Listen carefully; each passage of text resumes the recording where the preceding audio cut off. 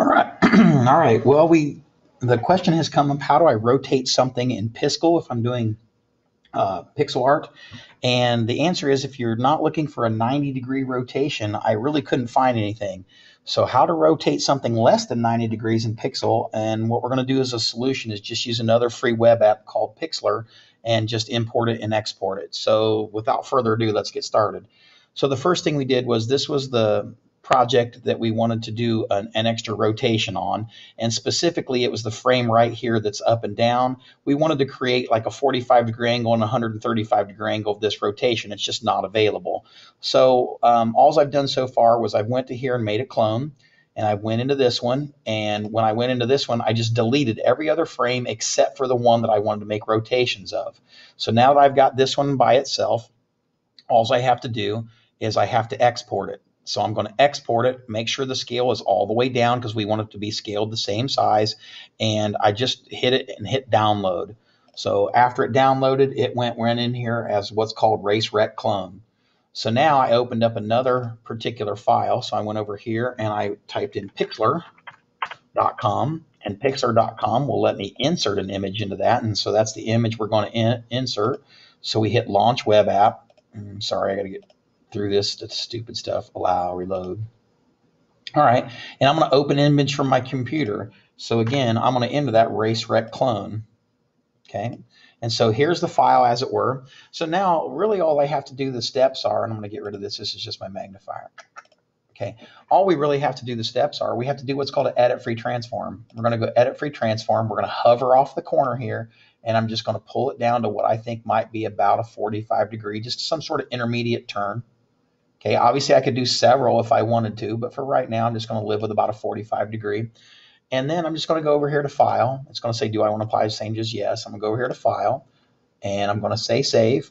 And I'm going to save it as Race Rec or just Race 45 for right now. And I'm going to leave it as a PNG, and I'm just going to say OK. So it's going to save it my downloads as Race 45. And so I'm going to go back to my edit, and I'm going to go back to Free Transform. And again, I'm going to hover over the corner. And this time I'm going to turn it over. I'm not going to do much else to it. I'm going to turn it over to that 135, give or take. So the thing has now rolled over past, you know, the, the 90 degree line and it's now 130. And I'm just going to save it again. So click somewhere and say yes. And go to File, go to Save. And again, we're going to change this one and we're going to change the name to Race 135. Say OK, save. And it'll save it my downloads again. And now I'm pretty much done with Pixlr. So I'm just going to exit out of this and I'm going to get back into my race rec clone. So actually, I'm going to put it right in the original. All right. So I'm going to get rid of this particular one. And and which one do I have the whole thing? Boy, I had a bunch of race rec clones up there. Let's go just go to my gallery, cancel. Let's go to my gallery. And the actual one I have is called Race Rec. And you'll see if I hover, it doesn't have the intermediate steps in it. It just goes straight to 90. So now I'm going to edit this one. Okay, so here's what's important. I go down to the place. Um, it's going to insert whatever I want. It's going to insert it after the thing that I do here. So I think the 45 one, I should go here to where this right before the where I want to put it in is. So I'm going to go to the frame before where I want to put it in. So it's going to be the new number seven. And I'm just going to say import. And I'm going to say browse images. And now I'm just going to type in in my downloads here, and we're going to find out that we got that one called Race 45 somewhere in here. There it is, Race 45. And I'm just going to open it.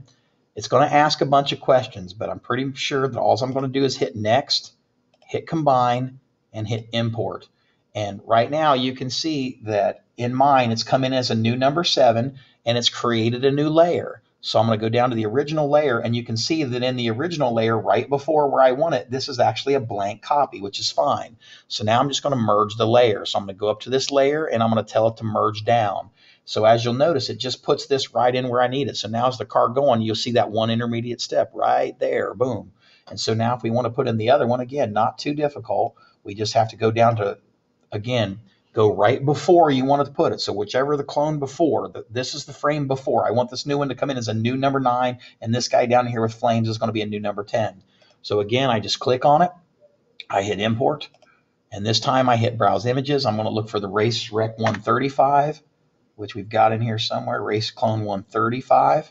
Okay, I'm going to open it up, and I'm just going to hit next, and I'm going to hit combine, and I'm going to hit import and it's going to put it in a new number nine. Notice my old layer, the new number nine is, is blank. So I just go back up and I hit merge layers, merge down. And as you can see now, it has put in the 45 and this other 90 here. So boom, boom, boom, I get the actual rollover going here.